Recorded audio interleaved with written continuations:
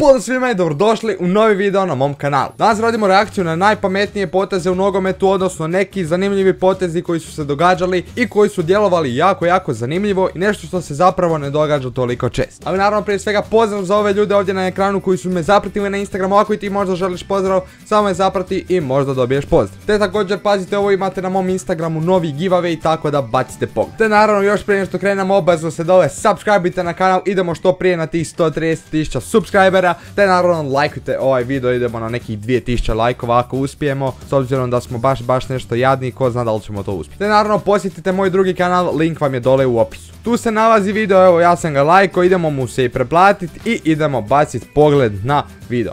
Idemo, znači evo ga Aduriz kako je izveo penal, znači uopće se nije zaletio, samo je malo napravio korak, ajmo reći iza i dodao. Pazite ovo, kao Guerreiro je ošao kao desno, a na kraju je zapravo on izveo free kick i tu je onda ja mislim Paco Alcacero zabio na kraju gol glavom i to je zapravo izgledalo veoma veoma zanimljivo i zapravo jako jako dobro napravljeno od akcije.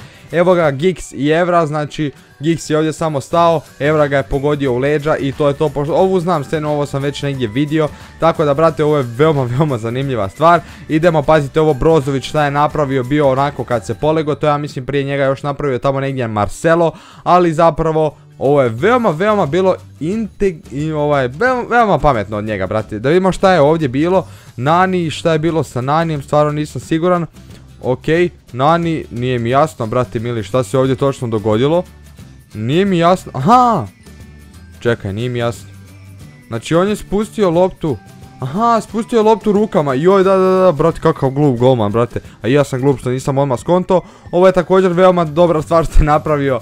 eto, znači taman je tu letio ispred golmana i zabio je gol. Da vidimo Lukas Moura. U kako je zezno Alessandrinija, svaka mu čast. Da vidimo Pogba. I, pa Pogba dok izvede ovaj penal, bok te ovaj moj klip će već završiti. Spazio, tri dana i na kraju ga je baš baš zakucao, brati mili, ovo je stvarno presporo doslovno ja bih ovo zabranio da se baš ovako presporo izvodi penali, ali ajde okej. Barcelona da vidimo offside zamka, pazite ovo šta su im napravili, znači doslovno svi igrači Pariza su bili u zaleđu, pazi svi doslovno igrači su bili u zaleđu. Miller i Alaba, u brate mili, ovo je zapravo zabavno, ovaj je tu zezno, živi zid malo ovo ono i ovo je bilo veoma veoma dobro odrađeno, uuu. Da vidimo šta, e da, ovo znamo, ovo je kad je Načo ono zabio.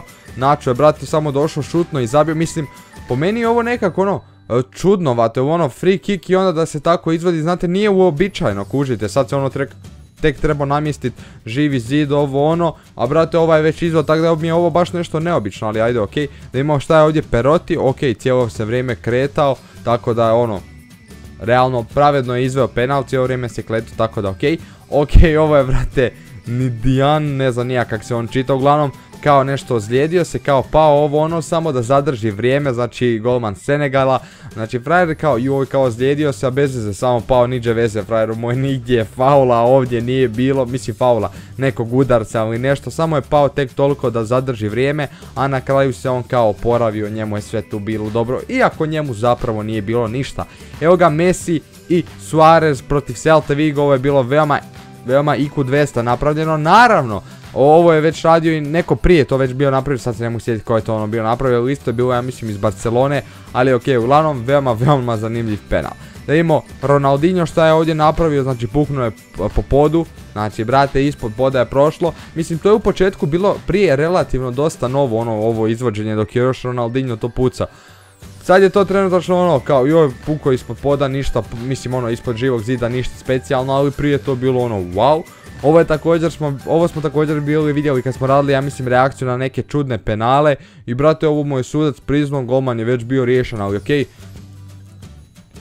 Joj, meni i dalje nije jasno šta je ovaj Karius, znači nemojte mi pisati to imao je potres mozga, to vam ništa, to, vam ništa ne znači to potres mozga, to vam Shvatite da to nije do toga. Frajer da je imao neki tu udarac, potres mozga, e, da je nešto, frajer bi tražio izmjenu i tada frajer nije valjda glup da brani. Mislim, ako je glup, onda je glup, brat. Mislim, dobro, trenutno je baš jedan igrač. Evo ga Miller ponovo nešto izvodi po podu lagano i ovdje je zabio Čabi Alonso z pogodak, uglavnom također veoma, veoma zanimljiv free kick. Ajde da vidimo šta je ovdje bilo kao nešto gura, okrenut je leđima, ovo ono i dolazi drugi i izvodi ovo je veoma nešto zanimljivo. Znači doslovno došao je drugi, kao svi su mislili sada da će se nešto možda ovaj okrenuti ili da će ovaj tu pucat, ali ne brate, došao je odjednom igrač i ovo smo također vidjeli, znači kad je pogodio protivničkog golmana čisto da izvede aut, šutno je i zabio pogodak. Veoma čitovski, ali brate mili, veoma, veoma dobro. Ja mislim da je to kraj da da Sir Alex je ovdje završio svoj video. Tako da brate mili, mogo bi ga i ja ovdje završiti. Uglavnom ja se nadam da ste vi uživali u ovom klipu, ako jeste obavezno ga lajkujte,